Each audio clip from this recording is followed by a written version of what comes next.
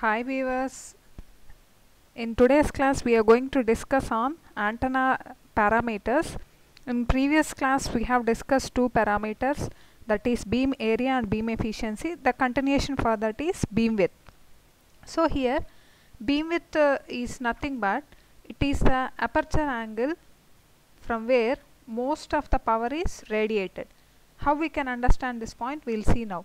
See here this uh, thing you can identify it is nothing but our radiation pattern we have taken in polar plot. The same radiation pattern is plotted in rectangular coordinate system.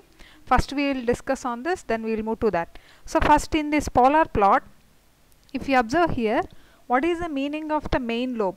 So we can know that main lobe is where the maximum and constant energy will be radiated by antenna is continuously placed here. That means see this main lobe area is present no the antenna whatever the power radiated by antenna will be maximum it will be constant in this area. If you consider rest of areas you can observe the amount of radiation or power radiated is very low. So here for calculation of beam width what is the main criteria is where most of the power is radiated that is main key factor here. So beam width is nothing but aperture angle means opening angle. So we are going to calculate our beam width on this main lobe. That means clearly you have to understand beam width calculation is always made on main lobe or major lobe. In simple way we can define beam width like this also. It is the area where most of power is radiated which is called as peak power. That means maximum power where we are having there it is considered. Now looking into this diagram see here uh, its unit is in degrees that means like uh, 10 degrees 20 degrees 30 degrees like that we will be measuring the beam width. So first of all we know this is nothing but b width width of this beam. So as we are calculating on the beam we are simply calling it as beam width and first we will discuss on uh, half power beam width. See here actually beam width is clearly understood by these two terms half power beam width and full null beam width. And here first look into this diagram. This is your main lobe and exactly on this main lobe you can watch two lines that is one is here and other is here. So on these two lines I have taken angle like this. See here I have marked the width and here when power has fallen to half of its maximum value it is called as half power beam width. Actually how we can do this is in your labs you can recall this term 3 dB line. So where we draw this 3 dB line 3 dB line so where we are getting the constant gain that is considered as 3 dB line. How we will draw that? By considering or uh, taking reference as maxima just uh, down 3 dB level to that we will mark this. Here also the same way.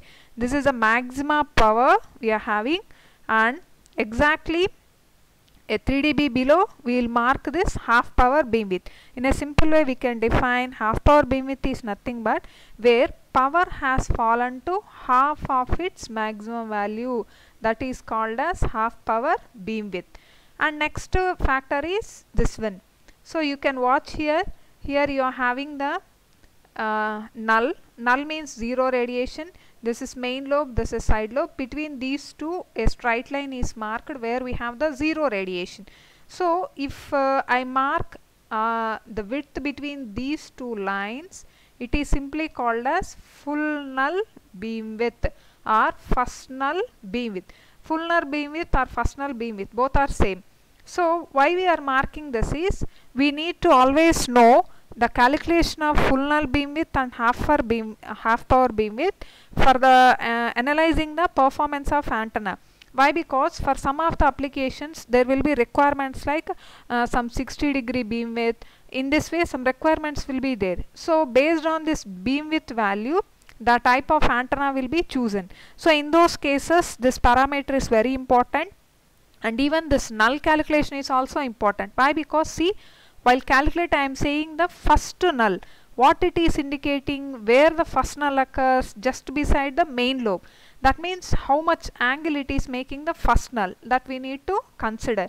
So the same thing we are going to now discuss in this rectangular plot. It's very easy to plot this one. You can just uh, bring out the diagram from this only. We can bring this one.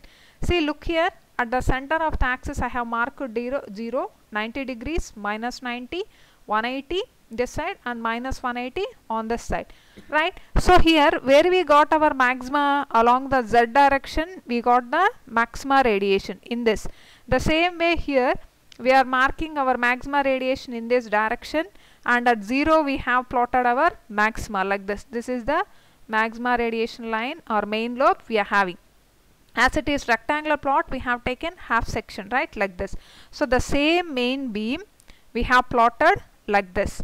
And next what happened here? Approximately this will be 45 degrees and this will be exactly 90 degrees right? So here based on this concept here we got the side lobes right? This one as well as all these are the side lobes we are having.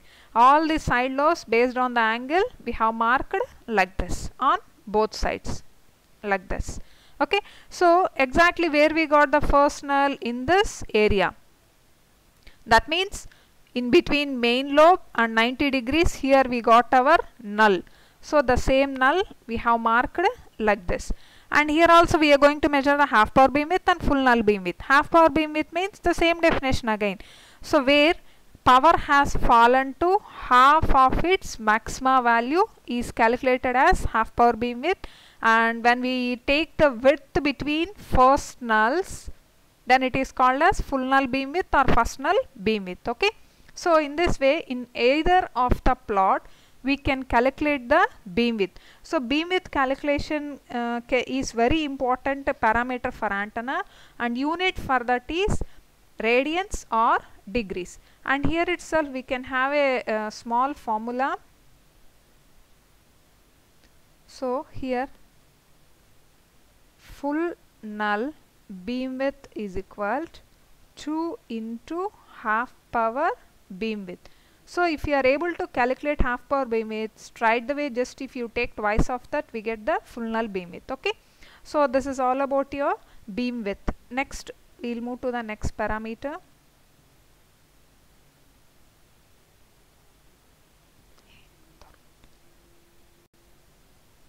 Okay, our next parameter is radiation intensity. So what is the definition for radiation intensity? Radiation intensity in a given direction is nothing but power per unit solid angle, right? It is nothing but power radiated per unit solid angle in a particular direction. So here direction is one of the important parameter. So in a simple way radiation intensity we can define like this also. It is the maximum emission of radiation to the possible extent by an antenna. That means where the antenna can emit maximum possibility of radiation is used for the calculation of this radiation intensity. Say you will be calculating light intensity like that only radiation intensity. Right here the unit for this radiation intensity is watts per steradian.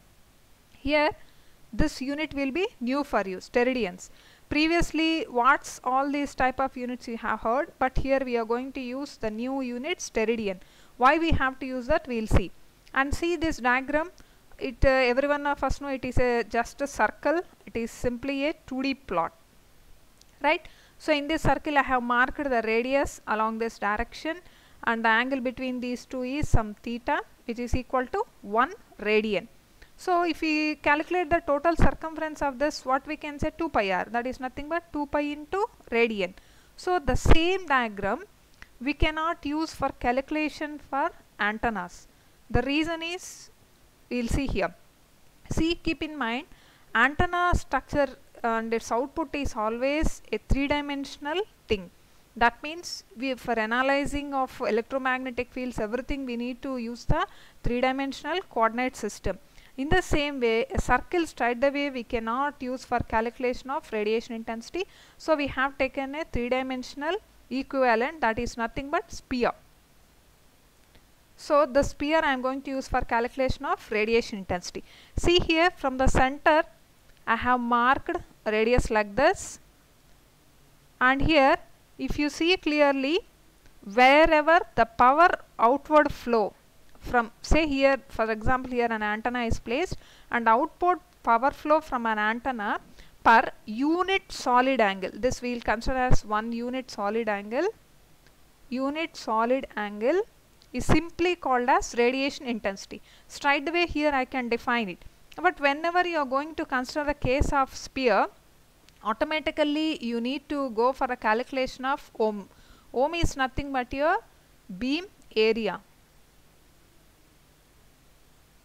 so here it will be equivalent to 1 steradian and here this uh, calculation is a three dimensional part.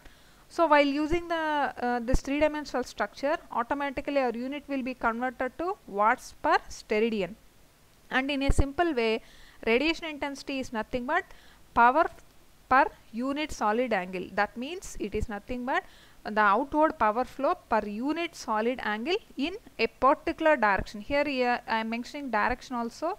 That means we have to include this radial distance also. So we will see the uh, required mathematical formulas for that.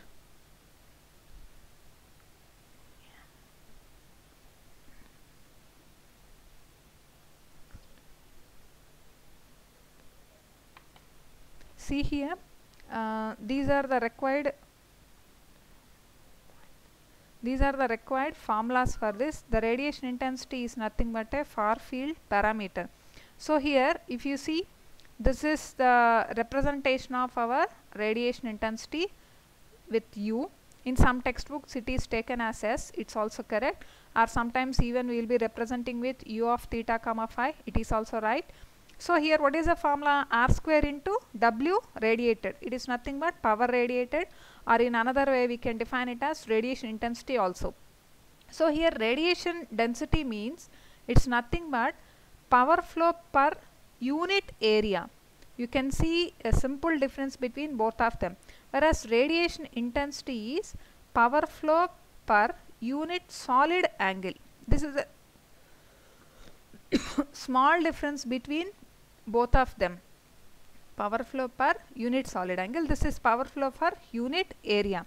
So here while calculating the uh, radiation intensity we need to include the radial distance. That is nothing but r value r square into w radiated. That is nothing but radiation density. So if you product these two automatically we get our radiation intensity. So when calculating the total power it is obtained by taking the entire spherical sphere spherical area that is from 0 to pi towards the 0 to 2 pi. U is nothing but radiation intensity into sine theta d theta d phi which is equivalent to your d ohm. D ohm is called as elemental area or decremental area of a solid angle right? Next our next parameter is effective length or we can call it as effective height. Both are same so here uh, this parameter is uh, straight away relevant to the length of the antenna. See first we will see the definition. Effective length is the ratio of magnitude of voltage at open circuit terminals to receiving antenna to the magnitude of field strength of the incident wavefront see for appearance it may be lengthy but we will uh, have in a simple way. See here this is the physical structure of antenna. Say for example I have taken some dipole antenna like this. You can see here this is the tip of the antenna. This is the bottom. This complete physical length is represented with L. So everyone will think that the radiation comes out from this entire antenna. But is it true? Nowhere a practical antenna can produce complete radiation throughout its physical structure. If you take this as antenna structure it is not possible to get uniform radiation throughout this so in the same way here what happens is out of this entire physical area it will radiate perfectly or effectively up to this level. That length we are calling it as effective length and it is denoted with LE and uh, the formula for this is V by E. It is nothing but uh, magnitude of voltage at open terminals of receiving antenna. That means how to do the calculation part is we will take a receiving antenna and having its uh, terminals open we will calculate this voltage. And uh, the uh, we will have the field strength of the instant wave. That means the input wavefront what we are giving for that we will calculate the field strength then we will get the E. If we take the ratio of these two automatically we can get the calculation of uh, effective length. So here effective length or effective height both are same.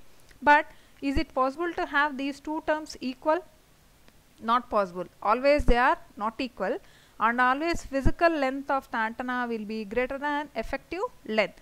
If these two becomes for example see these two are equal means what it indicates an antenna is 100% efficient. Is it possible? Practically not possible.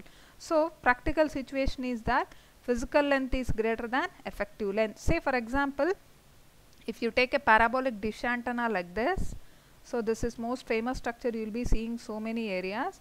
This is dish antenna. If you see its size will be very large and you will expect throughout this plate complete uh, dish the radio waves will be coming out. But practically some area will be blocked. In the same way if you take a dipole antenna also we'll have the uh, radiation pattern like this. If this is your dipole this is your radiation pattern here also all this area is nil radiation or null radiation. So in that way we can say that always the physical length of antenna will not be equal to effective length. There will be uh, some losses like conductor losses ohmic losses like that right? So this is the thing regarding the effective length. In another way we can say effective length of antenna is nothing but the capability of an antenna to transmit or receive electromagnetic waves simple definition. It is the ability of antenna to transmit or receive electromagnetic waves right? Okay. So these are the three parameters.